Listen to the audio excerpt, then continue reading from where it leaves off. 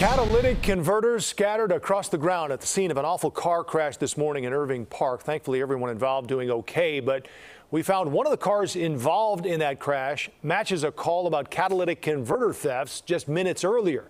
New here at 5 o'clock, our Tara Molina is tracking the latest and digging into the growing problem here in Chicago and across the state.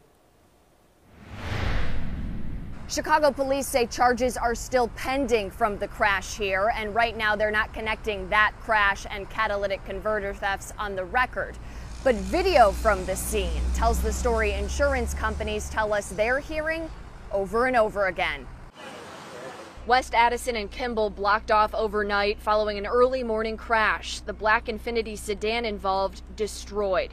Around 2:45 in the morning, Chicago police say the driver of that black Infiniti sped through the red light at Kimball, hitting the white Mazda in the intersection.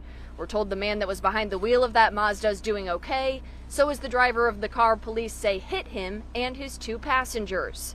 But our crews watched police sift through more than glass, rubble, and broken car parts at this scene. Our cameras rolled on police recovering a saw here and at least five catalytic converters.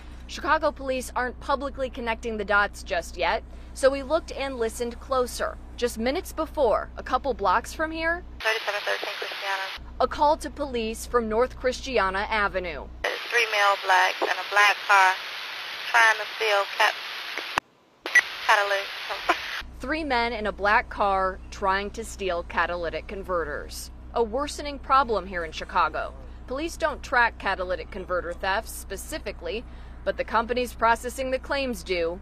A spokesperson for State Farm Insurance told me the latest numbers they can compare from January and February show the thefts more than doubling in Illinois in the past year, with 76 filed in January 2021, 284 this year. With 3.5 million paid out in catalytic converter claims in Illinois last year, this year, through April, they've already paid out 2 million, way up from pre pandemic totals. I checked in with the alderman here on this. That's Carlos Ramirez Rosa. He told me, like other neighborhoods in Chicago, they're seeing continued issues with these catalytic converter thefts. We'll continue to check in with Chicago police on the issue here. Reporting in Irving Park, I'm Tara Molina, CBS 2 News. The Cutera